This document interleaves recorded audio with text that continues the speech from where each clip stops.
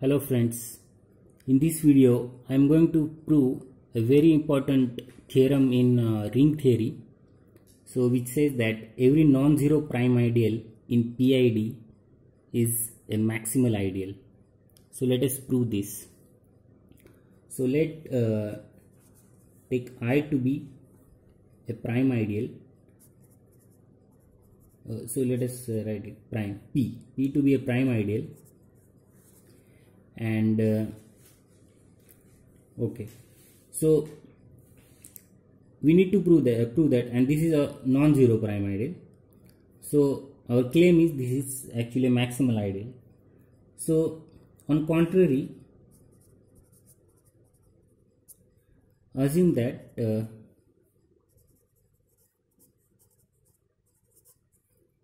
p is not maximal what does that mean? If p is not maximal then there must exist a prime ideal uh, maximal ideal. So therefore there exists a maximal ideal maximal ideal i which contains p such that this p is strictly inside i. And this i is also not equal to the whole uh, ring so which is PID so R is our PID so there exists this maximal ideal which is not which is contained this P properly and which is properly contained inside the PID R. Since this R is PID we know that the I is actually generated by some uh, element A right? And P is also PID uh, so P is also a prime ideal. So P is also generated by some single element B. And we know that P is uh, strictly inside I which is generated by A. What does that mean? Is B belongs to the ideal generated by A. But what does that mean? B has to be equal to some C times A, right? Where C belongs to R. Because B belongs to the ideal generated by A, B has to be C times A, where C belongs to R. So let us call this to be 1.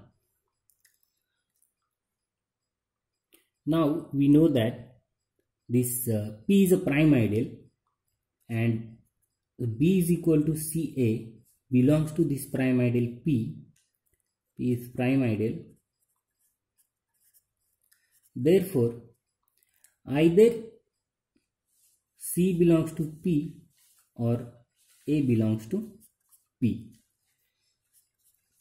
But uh, let us make these two uh, cases. If A belongs to P, that means the ideal generated by A is a subset of P. But we already know that P is subset of I and this was actually our I so that will mean that P is equal to the ideal generated by A which is same as I but that is contradiction because that is strictly inside I. So here we get, get contradiction. In fact we okay we, since we started with uh, proof by contradiction so we got the contradiction here that means uh, P has to be maximal because we have assumed that P is not maximal and we got the contradiction here which implies P is maximal. Now the second case was if C belongs to P. So this is an important case. So what happens if C belongs to P?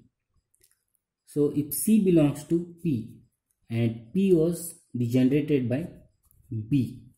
So that means C is equal to again B times D for some d belongs to uh, the PID R. And we also know that B is equal to CA from 1. So from 1 what we get is C is equal to B times D but B times D uh, is same as C times A sorry B is actually C times A so this is C times A times D but we know that this R is PID. In particular, it is integral domain. And we know that in integral domain, cancellation law holds. So the cancellation law holds in integral domain. So we can use it here and we can just uh, cancel the c on both sides. So therefore we get that the 1 is equal to a times b But what does that mean? Which implies that a is unit. a is unit which implies that uh, the ideal generated by a has to be the whole ring that is PID.